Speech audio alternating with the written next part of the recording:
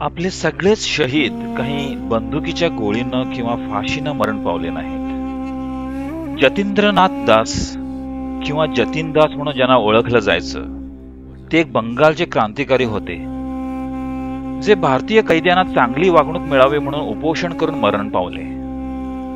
ते स्वातंत्र्य चळवळीत सामील झाले जेव्हा ते फक्त सतरा वर्षांचे होते.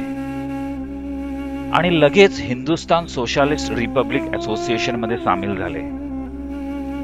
जिथं ते भगतसिंग राजगुरू आणि सुखदेव यांना भेटले.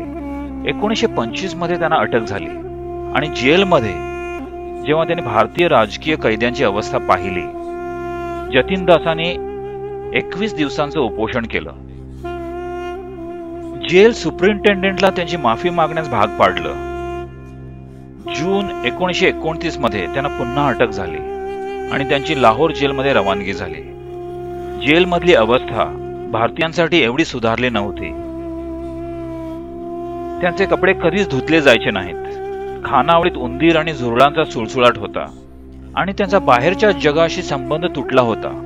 कोणतंच वर्तमानपत्र त्यांना मिळत नव्हतं. दासाने पुन्हा उपोषणाला सुरुवात केली. अधिकाऱ्यांनी त्यांना जबरदस्तीनं अन्न भरवण्याचा प्रयत्न केला पण त्यांनी विरोध केला. त्यांच्या शरीराचा वेगवेगळा भाग पॅरालाइज होऊ लागला. तरीही त्यांनी त्यांचं उपोषण मोडलं नाही. जसजशी त्यांची तब्येत खालावत गेली जेल कमिटीनं त्यांना सोडण्याची शिफारस केली पण त्यावेळच्या सरकारनं ते नाकारलं.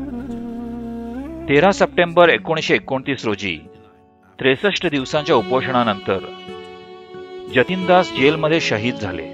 त्यांच्या सहकैद्यांच्या अधिकारासाठी लढा देत त्यांच्या मृतदेहाचा फोटो वर्तमानपत्रात छापला गेला होता ज्यानं प्रचंड भावनिक उद्रेक उसळला सबंध देशभरात. त्यांची अंतयात्रा लाहोरपासून कलकत्त्यापर्यंत गेली.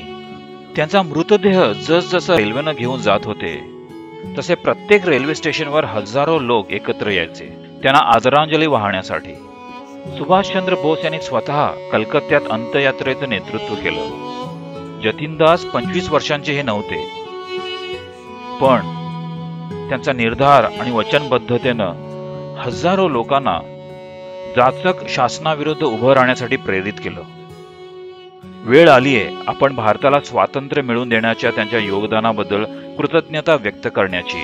हे भारताचे महान पुत्र जर ते आपल्या देशाचं नेतृत्व करण्यासाठी जिवंत राहिले असते आपल्या देशाला त्यांचा प्रचंड लाभ झाला असता.